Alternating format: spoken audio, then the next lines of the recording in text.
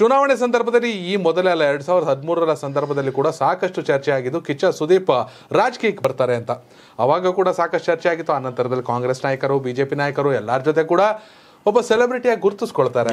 ಈಗ ಸದ್ಯ ಕಿಚ್ಚ ಸುದೀಪ್ ಬರೀ ಡಿ ಕೆ ಶಿವಕುಮಾರ್ ಜೊತೆ ಫೋಟೋ ಕಾಣಿಸ್ಕೊಂಡಿದ್ದಿದ್ರೆ ಓಕೆ ಅಪ್ಪ ಎಲ್ಲೋ ಭೇಟಿ ಆದ್ರು ಏನೋ ಕೆ ಸಿ ಸಿಗೆ ಇನ್ವೈಟ್ ಮಾಡಕ್ಕೆ ಹೋಗಿದ್ರು ಮತ್ತೊಂದು ಏನೋ ಇರ್ಬೋದು ಅನ್ಬೋದಿತ್ತು.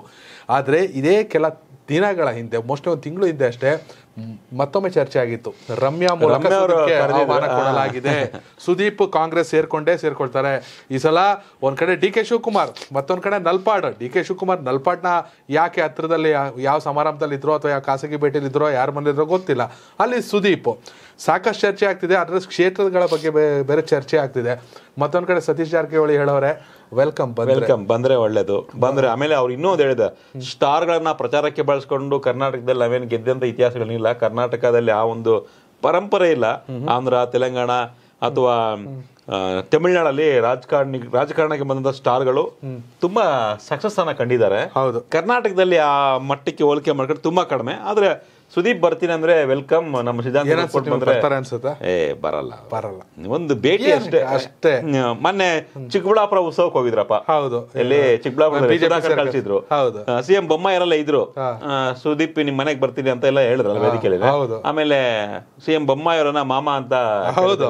ಸುದೀಪ್ ಎಲ್ಲಾರ ಜೊತೆ ಚೆನ್ನಾಗಿದ್ದಾರೆ. ಸಿದ್ದರಾಮಯ್ಯ ಜೊತೆ ತುಂಬಾ ಆತ್ಮೀಯವಾಗಿ ಆತ್ಮೀಯವಾಗಿದ್ದಾರೆ. ಆಮೇಲೆ ಲಾಸ್ಟ್ ಒಂದು ಒಂದು ಆರು ತಿಂಗಳ ಹಿಂದೆ ಎಚ್ ಡಿ ಕುಮಾರಸ್ವಾಮಿ ಜೊತೆ ಭೇಟಿ ಆಗಿದ್ರು ಹೌದು.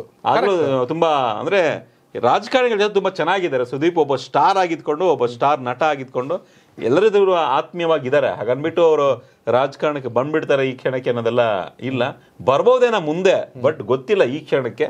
ಬಟ್ ಈ ಕ್ಷಣ ಏನು ರಾಜಕಾರಣ ಎಲೆಕ್ಷನ್ ಹತ್ರ ಇರೋದ್ರಿಂದ ಚರ್ಚೆ ಆಗ್ತಾನೆ ಇದೆ. ಸುದೀಪ್ ರಾಜಕಾರಣಕ್ಕೆ ಬರ್ತಾರಾ ಏನು ಕತೆ ಅಂತ. ಬಿಜೆಪಿಯಲ್ಲಿ ಕೆಲವೊಂದಿಷ್ಟು ಫ್ರೆಂಡ್ಸ್ ಇದಾರೆ ಅವ್ರಿಗೆ. ಈಗ ಮನೆ ನಮ್ಮ ಇಂಟರ್ವ್ಯೂ ಅಲ್ಲಿ ಬಂದಿದ್ರಪ್ಪ ರಾಜಗೌಡ್ರು. ರಾಜುಗೌಡ್ರು. ಅವ್ರ ಜೊತೆ ಕ್ರಿಕೆಟ್ ಆಡ್ತಿದ್ರು ನಮ್ಮ ಸಂಬಂಧಿಕರು ಖುಷಿ ಖುಷಿ ಅವ್ರಿಗೆ. ಹೌದು. ರಾಜಗೌಡರು ಅಣ್ಣ ಅಂತಾರೆ. ಬಿಜೆಪಿ ಅವರು ತುಂಬಾ ಫ್ರೆಂಡ್ಸ್ ಇದಾರೆ ಕಾಂಗ್ರೆಸ್ ನಲ್ಲೂ ಫ್ರೆಂಡ್ಸ್ ಇದಾರೆ ಹೌದು. ಜೆಡಿಎಸ್ ನಲ್ಲೂ ಫ್ರೆಂಡ್ಸ್ ಇದಾರೆ. ಸೊ ಒಂದು ಫ್ರೆಂಡ್ಶಿಪ್ ಅಷ್ಟೇ. ಅದ್ ಬಿಟ್ಟು ಸುದೀಪ್ ರಾಜಕಾರಣಕ್ಕೆ ಬರ್ತಾರಾ ಇಲ್ಲ ಗೊತ್ತಿಲ್ಲ.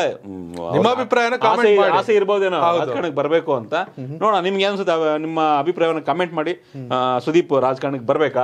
ಬೇಡವಾ? ಹಿಂಗೆ ಸ್ಟಾರ್ ಆಗಿದ್ರೆ ಒಳ್ಳೆ ಇನ್ಯಾರು ಬರ್ಬೇಕು ಅನ್ನೋದಿದ್ರು ಹೇಳಿ.